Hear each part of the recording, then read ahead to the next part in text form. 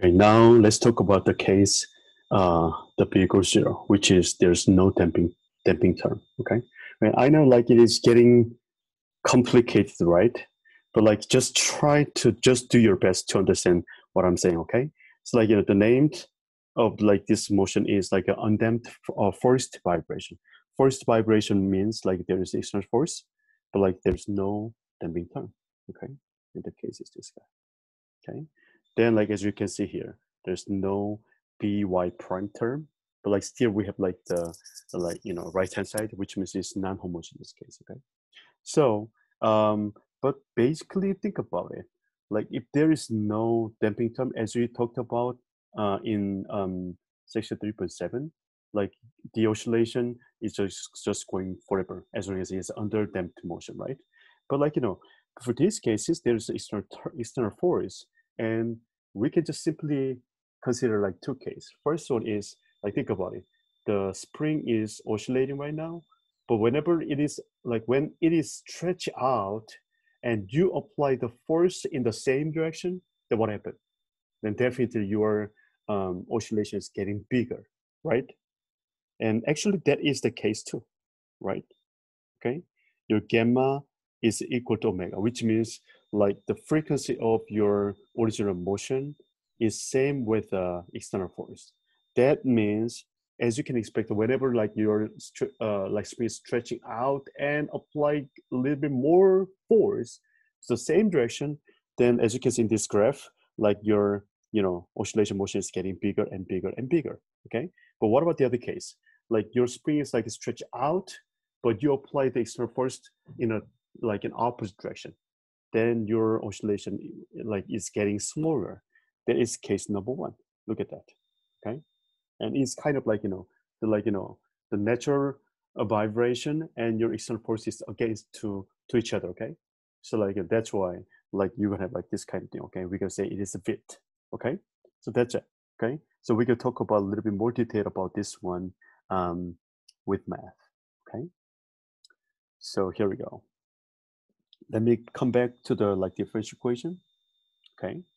And um, like as you know, uh, like you know, gamma is the forcing frequency, and then like you know, omega is the natural frequency, which is noted by square root of k over m. Okay, we already derived whole this thing like before. Okay, then the first case, let's talk about your gamma is not equal to omega. Okay, then what happened? So basically, okay, we have to come back to the um,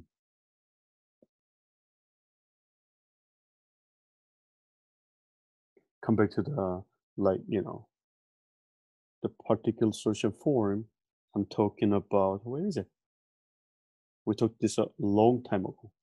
I'm talking about this guy okay? This particular solution okay?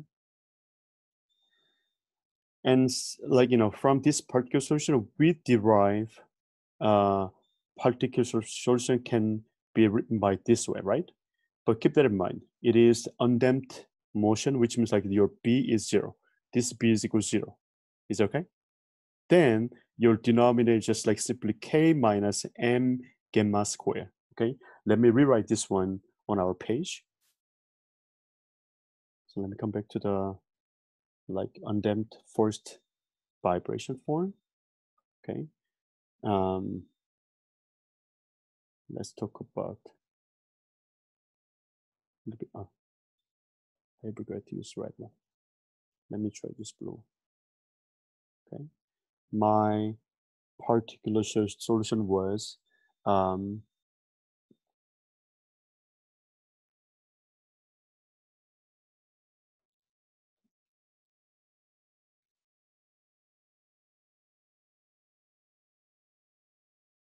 F0 over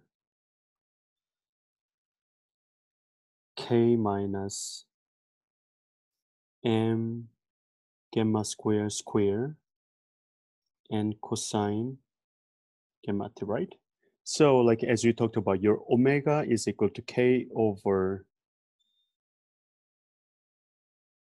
omega is equal to square root of k over m, which means um,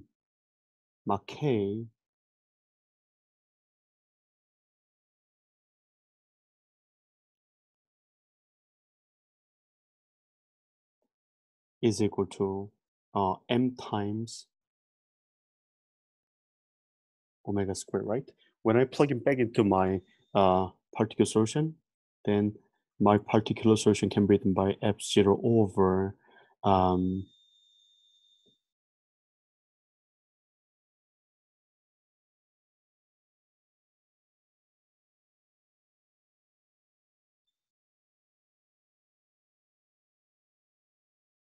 I mean, oh, give me one second.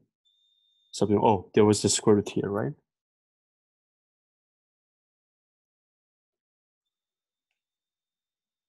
Oh, yeah. Right? Then it will be just like an m. Okay, here we go. Omega squared minus m gamma square cosine gamma t.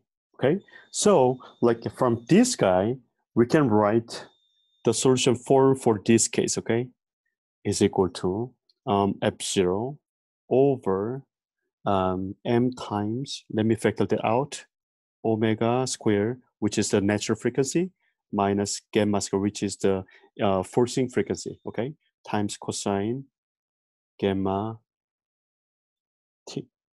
Is okay? This is particular solution for uh, particular particular solution form of the like undamped forced vibration k vibrations, uh, which is case gamma is not equal to omega okay? And then whenever you have this one, when you draw the graph of this guy, and you can get like this kind of form, okay? We're gonna say um, this is the beat.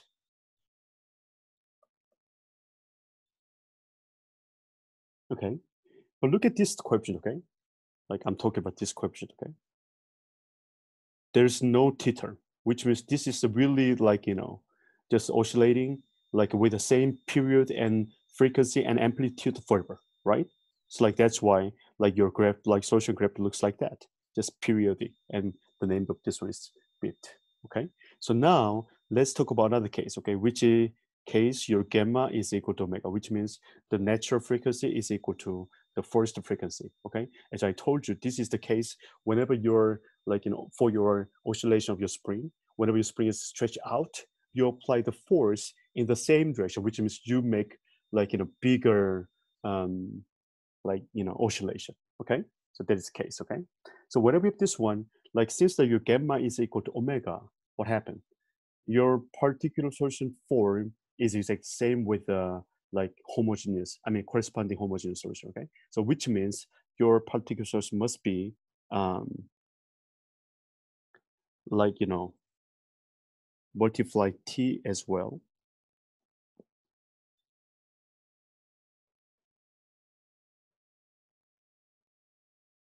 okay? And as we did before, we're gonna take the derivative, I mean like y prime, find y prime and y double prime and plug it back into the differential equation, then you can get um, the particular solution form as like this one, f0 over 2m gamma t and sine gamma t.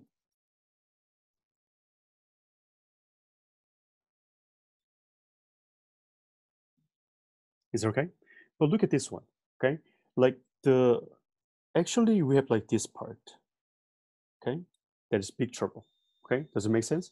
Because like, you know, like when you compare with previous one, like previous previous particular solution doesn't have like t term in the coefficient, which I mean like you know amplitude part, which means that you have like same amplitude, right? But for case two, since there's t on your amplitude, which is whenever t is increasing, your amplitude is also increasing. Does it make sense? And you can easily find that motion in the like in solution graph, okay? Solution curve, okay? And we can say that is a resonance. Is it clear?